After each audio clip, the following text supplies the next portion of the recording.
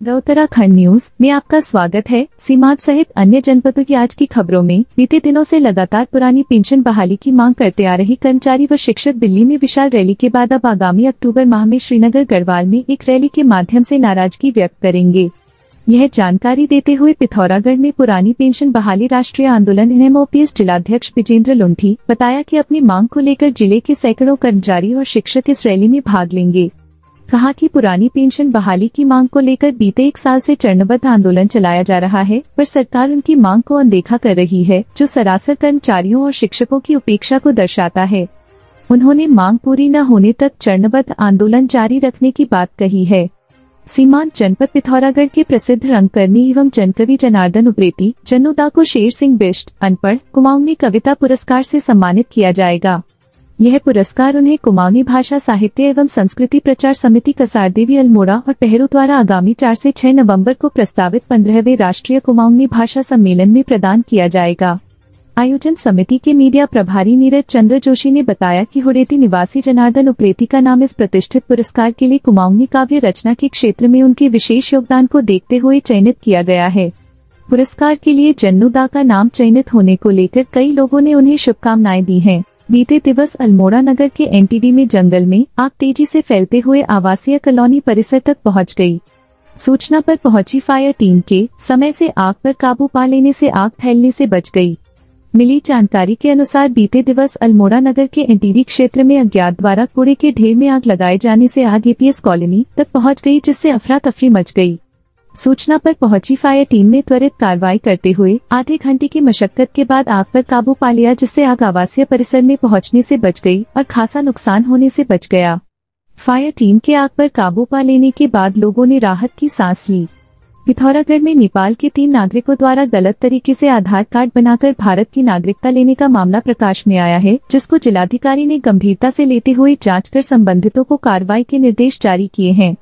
मिली जानकारी के अनुसार एक ही परिवार के तारा दत्त चौवन वर्ष, ईश्वरी देवी इक्यावन वर्ष और किशन भट्ट इकतीस वर्ष नेपाल के नागरिक हैं। तारा दत्त की नेपाल के जोलाघाट में किराने की दुकान है। तीनों के पास भारत के आधार कार्ड हैं और दो देशों की नागरिकता है। ये भारत के नागरिकों को रियायती दरों में मिलने वाले राशन और रसोई गैस आदि को नेपाल ले जाकर उपभोग करते हैं। डीएम ने मामले को गंभीरता से लेते हुए एसडीएम सदर को जाँच कर एक सप्ताह में रिपोर्ट देने गलत तरीके आधार कार्ड निर्गत करने वालों के खिलाफ कार्रवाई करने के निर्देश दिए हैं।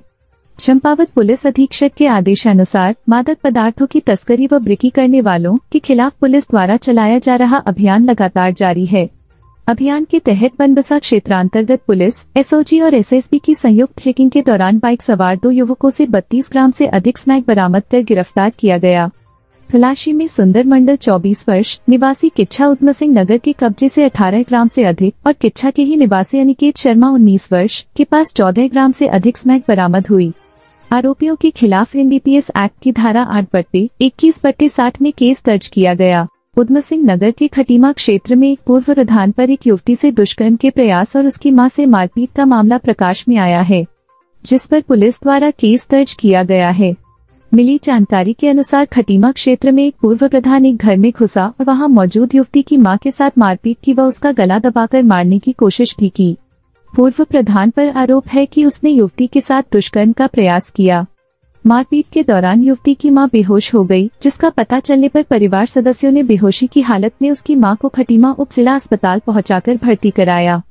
पुलिस ने बताया कि मामले को लेकर आरोपी हाकम सिंह के खिलाफ मुकदमा दर्ज किया गया है और जाँच की जा रही है। जाँच के उपरांत अग्रिम कार्रवाई अमल में लाई जाएगी। पहाड़ी से गिरे पत्थर की चपेट में आने से एक महिला की दर्दनाक मौत हो गई। बताया जा रहा है कि महिला जानवरों के लिए चारा लेने जंगल में गई थी।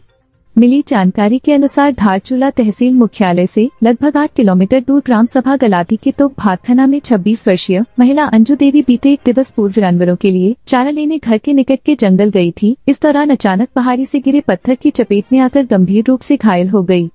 परिजनों को पता चलने पर ग्रामीणों की मदद से 108 के माध्यम से महिला को घायल को अस्पताल लाया गया, जहाँ चिकित्सकों ने उसे मृत घोषित कर दिया गया। थानाध्यक्ष के एस रावत ने बताया कि पंचायत नामा व पोस्टमार्टम की कार्यवाही के बाद शव परिजनों को सौंप दिया है। महिला की मौत से क्षेत्र में शोक व्याप्त है। नैनीताल जनपद के रामनगर, सावलदे में एक युवक का शव संदिग्ध हालत में एक पेड़ से लटका हुआ मिला। पुलिस ने शव को कब्जे में लेकर पोस्टमार्टम हाउस भेज दिया। पुलिस मामले की जाँच में जुट गई है। सीओ बलजीत सिंह भाकुनी ने बताया कि सावलदे के जंगल में वन चौकी के पास एक युवक का शव पेड़ से लटका होने की सूचना मिली थी। पुलिस ने मौके पर पहुंचकर युवक के शव को कब्जे में लिया और मृतक के जेब में पड़े आधार कार्ड से उसकी गणेश सिंह, पुत्र जयपाल सिंह, निवासी ढेला बंदोबस्ती उम्र 31 वर्ष के रूप में हुई। सीओ ने बताया कि युवक दो माह से अपने घर नहीं गया था। कहा कि पोस्टमार्टम रिपोर्ट आने के बाद ही स्थिति स्पष्ट हो पाएगी। जाँच जारी है।